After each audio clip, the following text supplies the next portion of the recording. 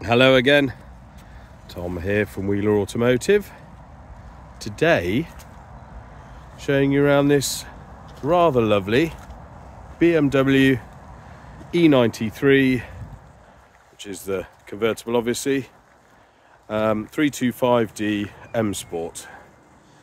Um, finished here in Le Mans blue metallic paint um, over a cream Dakota leather interior. Um, it's had uh, only four owners from new, um, which for, I guess, a 12 year old car is, is quite low, average. Um, it's the LCI model, so it's a 2012, so it's got the LED front and rear lights. Um, it's the six speed auto. Uh, it's got a full service history. We've got a service book with um, 11 stamps in it. The latest one was uh, was just by ourselves to prepare the car for sale. Start, stops, and drives exactly as it should.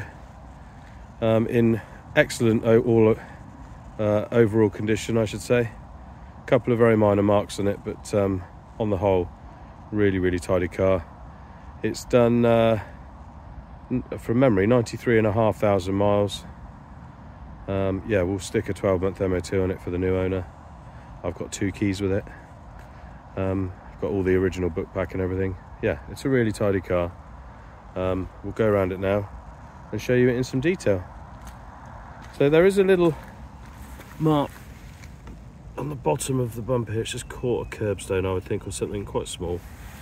Um, no other scratches on this front bumper corner does have auto xenon headlights. Um, it does have the white LED DRLs these indicators are LED as well. Both the headlights are crystal clear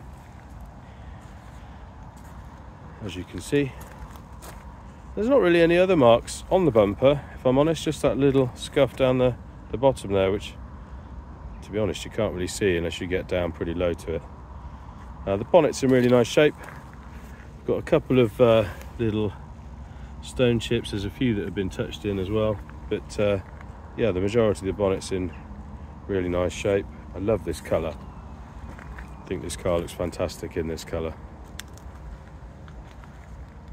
No real marks on that bumper corner.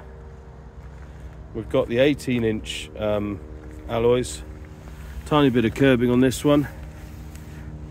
There is a very slight lip on that disc but still loads of meat left on it and the pads are about half worn. Um, it does have a matching set of the uh, Bridgestone Potenzas which are all of them not very old. There's loads of life in all four. I've already checked them. Um, these were the tyres that were fitted this car at the factory um, it doesn't have a spare. That's why it has the run flats.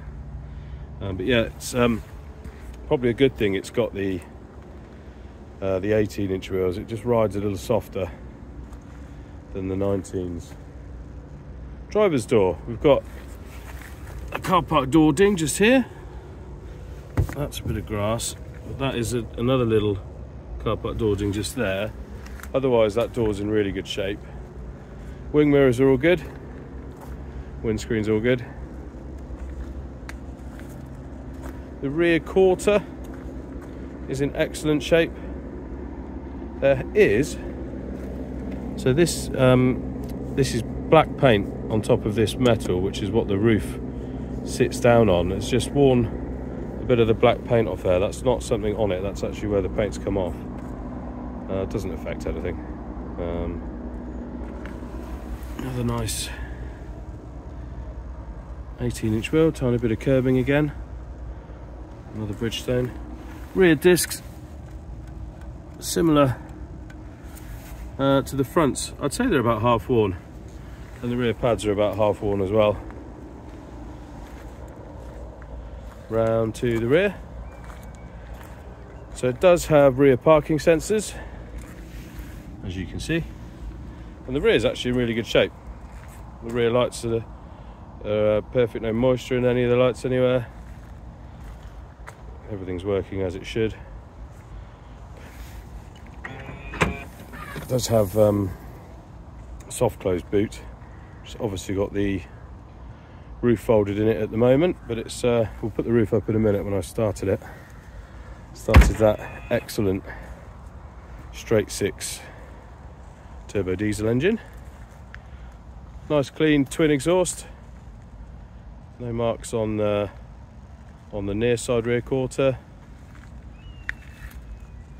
That's a handprint where I just had it validated. That's not a scratch or anything there. No real marks on. Just having a look over it on the rear there at all. Another nice presentable alloy. Distant pads, same as the other side. Passenger door is pretty much spotless, I'd say. Can't see any marks on that one. And then finally around to the front wing, there is a little mark here. Just in front of my thumb there. And that's kind of it. The rest of it in really good shape. And then we've got one more lovely 18 inch wheel again, tiny bit of curving and the last Bridgestone. So externally, for its age and mileage, I'd say it's in very good shape. It's just as nice inside. So we've got the full cream leather interior. The um, seats are electrically adjusted, both driver and passenger. Bit of leaf there. Uh, the front seats are heated as well. Rear seats are in nice order.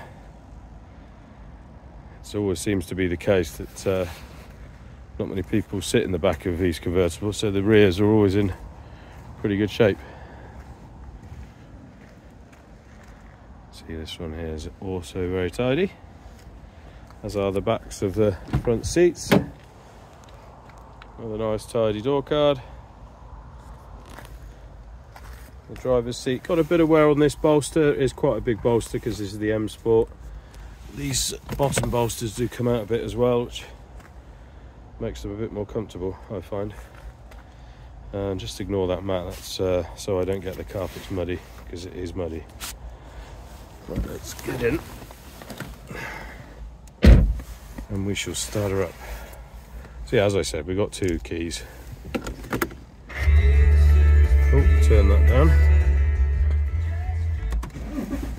Starts first time every time. Runs very, very smoothly. So that you just heard then was it's had a professionally wired in um, uh, dash cam. I'm trying to think of the word. Just needs an SD card popping in it. Um, yeah, we can see the mileage there, just under 93 and a half thousand. Um, we do have flappy paddles for the gearbox, leather multifunction M Sport steering wheel, which is in really, really good shape. Um, we've got dual zone climate control with air conditioning, which is all working as it should. Heated seats are superb. Do have uh, a CD player there. Um, we've got the business nav. Go on to that show you the map, which is um, which is superb. Does have Bluetooth for um, phone calls, and it will stream music via Bluetooth as well. Um, yeah, this is a really really good system. Nice and quick. Um, we've got obviously the controls for it there. That controls the uh, the hardtop, which I'll put up in a sec. We do have cruise control with the brake function, which means it will brake automatically for you to keep you at a speed if you're going down a hill. Um, yeah, auto xenon headlights, auto wipers, auto dimming rear view mirror. Just trying to focus on the trees in the background. Um, yeah, everything in here works exactly as it should. Um, it's a lovely car to drive. Absolutely legendary engine, the the N57 straight six in this. Uh, but let's show you the uh, the roof going up. Try and catch it in the mirror. Here we go. Very fast the roofs on these actually, when you consider how complicated they are. Alright, it's just putting the back bit down.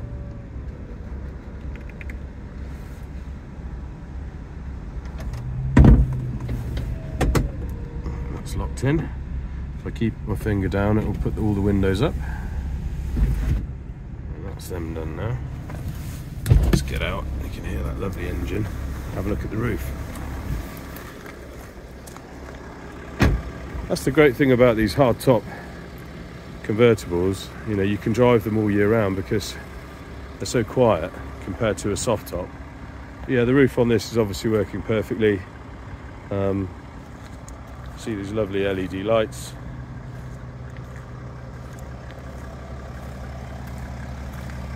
And that superb engine.